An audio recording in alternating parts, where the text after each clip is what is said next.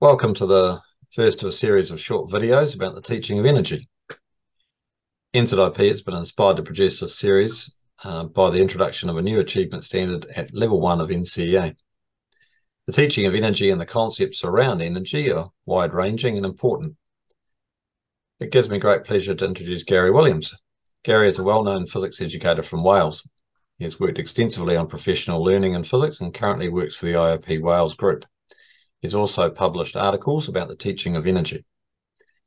Gary and I have met many times over the last few months and have planned a series of short videos to unpack what we consider to be the most important aspects in relation to supporting teachers in terms of teaching energy concepts. Today, we will be unpacking the survey we have recently carried out. We will also be discussing the work of Robin Millar. Robin Millar's 2005 paper, Teaching About Energy, provides some excellent advice about how to proceed in terms of unpacking energy concepts. In later videos, we will discuss language issues associated with energy, a teaching method for calculations, and practical activities that build conceptual understanding. We believe that the Robin Millar paper is essential reading for all teachers. Millar points out the issues in a clear and simple manner and is realistic about the limitations of the models and language we currently use.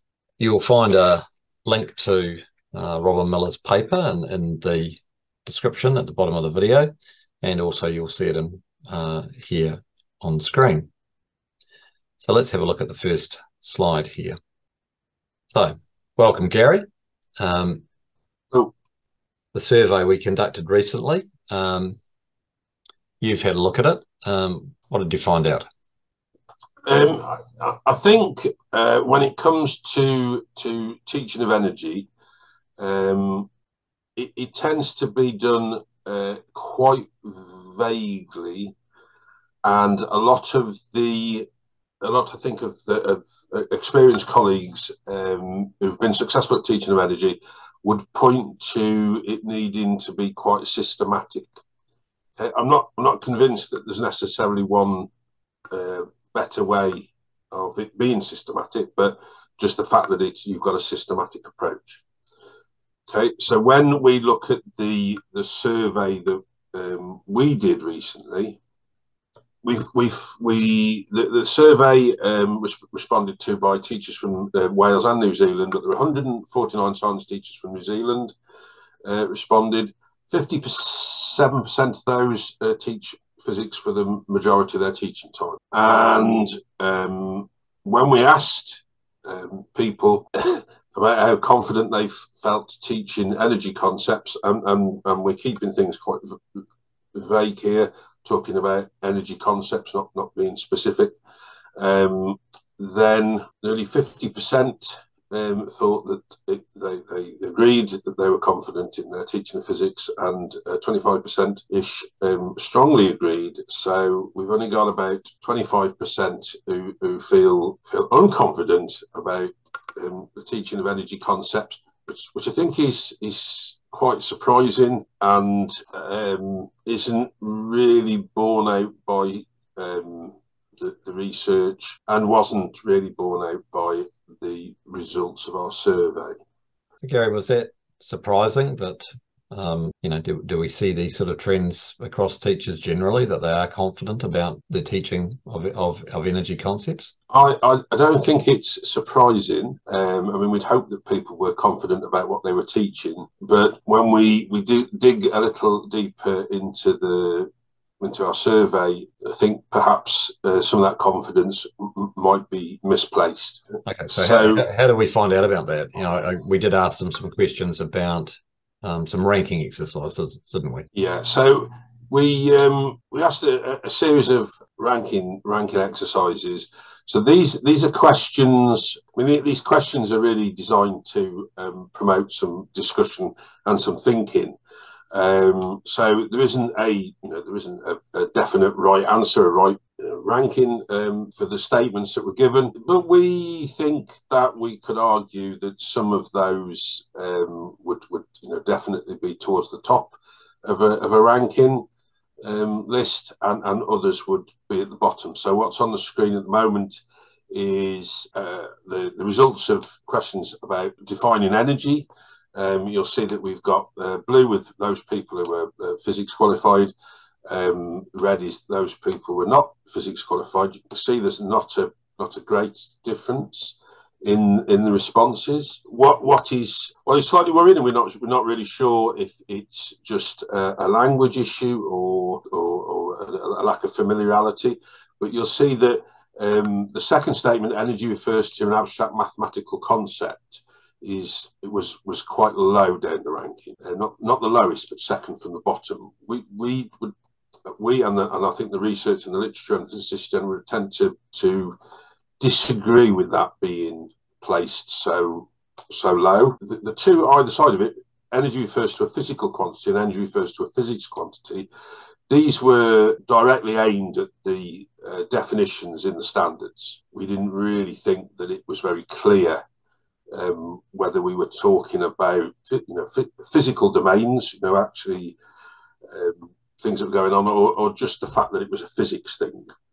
Uh, that that didn't seem to come out of it. We're not sh- really sure that, that the physical aspect is is really that well defined. What what was good is we we all seem to agree that the the um, energy refers to something real, although it cannot be sensed, is the worst answer. We, we everybody seems to be quite happy with that. That's that's one of the worst answers. So what what else do we find in the survey? There, there was quite a quite actually some of the most elucidating parts were actually some of the comments, weren't they? Yeah, there were some really, really um, in like you know, some of which are uh, definitely borne out by um, experiences of other people and research. So, as, as Sonny's pointed out, st- older students, 15, 16 year old, uh, can understand these abstract concepts better.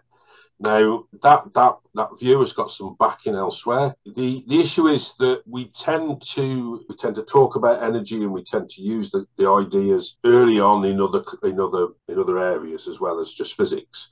Know, so in biology we'll, they'll talk about energy, um, in chemistry they'll talk about energy, uh, and they and they do that you know much earlier on.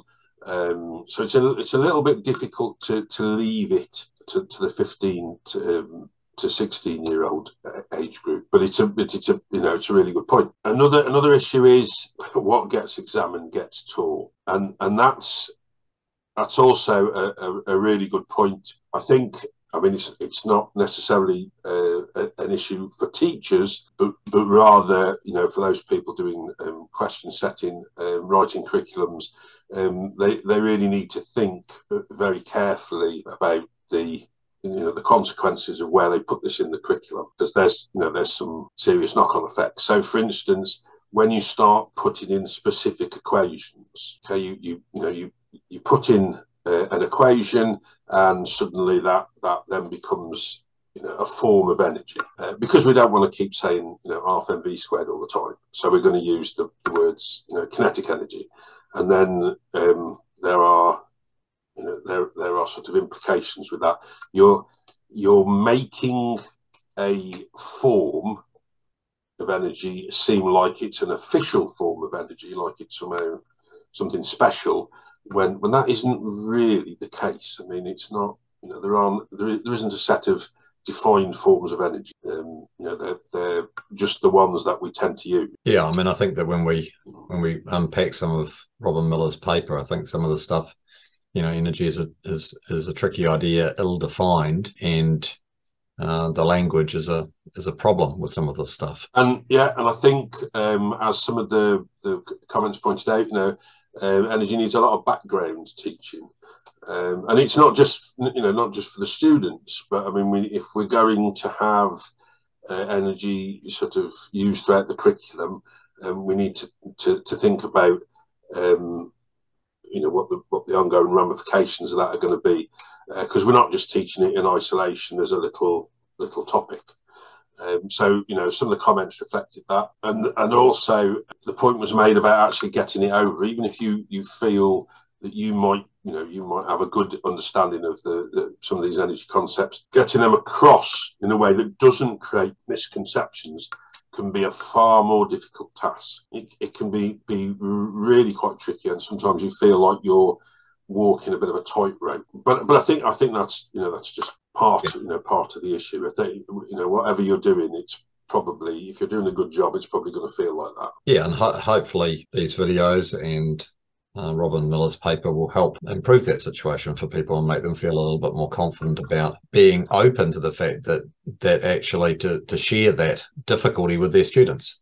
I certainly find that in my own teaching that if you tell the kids, actually, this this is a challenging area, and sometimes our language, many of my students speak speak another language, and maybe in their languages it might be more easily conveyed. And in English, we do have problems, um, and we have have problems in physics all the time. So terms like work are power, energy, um, are all very difficult to manage.